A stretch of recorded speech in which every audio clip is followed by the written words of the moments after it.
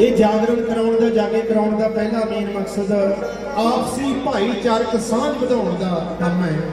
ਵੀ ਆਪਾਂ ਸ਼ਿਕਵੇ ਗਿਲੇ ਭੁਲਾ ਕੇ ਇੱਕ ਪਵਿੱਤਰ ਸਥਾਨ ਤੇ ਇਕੱਠੇ ਹੋਈਏ, ਆਪਣਾ ਏਕਾ ਬਣਿਆ ਰਹੇ। ਜੇ ਬਣਾ ਤੂੰ ਲੱਕੜ ਹੋਵੇ ਨਾਲ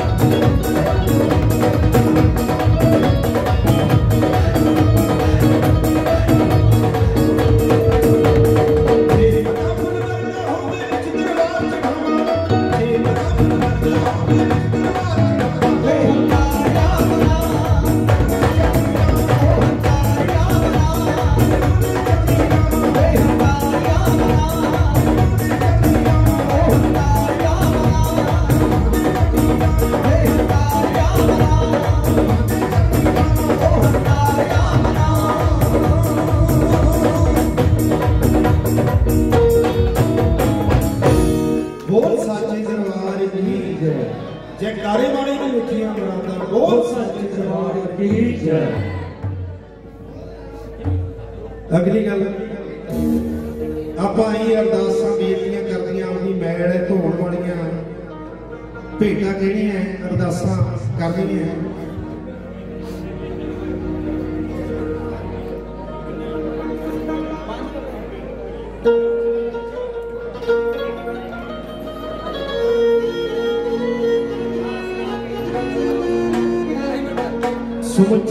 ਸਮਾਜ ਲਈ ਆਪਣੇ ਘਰਾਂ ਲਈ ਧੀਆਂ ਲਈ ਭੈਣਾਂ ਲਈ ਆਪਣੇ ਬੱਚਿਆਂ ਲਈ ਅਗਲੀ ਅਰਦਾਸ ਬੇਨਤੀ ਕਰੀਏ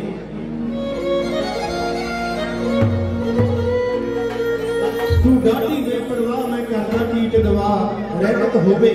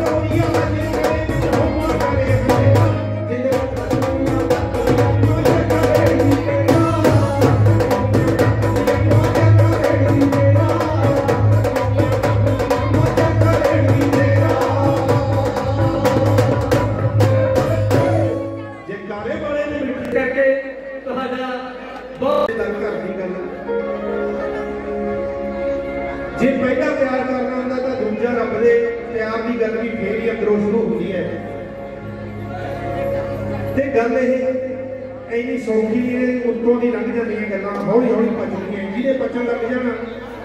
ਫਿਰ ਉਹ ਜ਼ਿੰਦਗੀ ਦੇ ਸਵਾਦ, ਉਹਨੂੰ ਦੂਜੇ ਬਾਹਰ ਦੇ ਫਿੱਕੇ ਲੱਗਣ ਲੱਗ ਜਾਂਦੇ ਆ, ਅੰਦਰੋਂ ਹੀ ਸਵਾਦ ਆਉਣ ਲੱਗ ਜਾਂਦਾ, ਹਰ ਚੀਜ਼ ਦਾ। ਅੱਜ ਮੈਨੂੰ ਦਾਦੀ ਦਾ ਦਿਦਾਰ ਹੋ ਗਿਆ। ਗੱਲਾਂ ਗੱਲਾਂ ਵਿੱਚ ਮੇਰਾ ਪਾਰ ਹੋ ਗਿਆ। ਟਰੂ ਲਵ ਦੀ ਐਵਰੇਜ ਕੱਢੀ ਐ ਸਿਆਣੇ ਨੇ, ਕਹਿੰਦੇ ਜੇ ਹੋਣਾ ਹੋਵੇ। ਕਿਸੇ ਨਾਲ ਵੀ ਭਾਵੇਂ ਸਮਾਜਿਕ ਕੋ ਹੋਵੇ ਭਾਵੇਂ ਪਰਮਾਤਮਾ ਨਾਲ। ਉਹ ਕਿੰਨਾ ਟਾਈਮ ਲੱਗਦਾ, ਕਹਿੰਦੇ ਸਿਰਫ 30 ਸੈਕਿੰਡ ਦੀ ਖੇਡ ਹੈ। 30 ਸੈਕਿੰਡ ਲੱਗਦੇ ਐ ਜੇ ਉਧਰ ਲੱਕੜੀ ਹੋਵੇ ਜੇ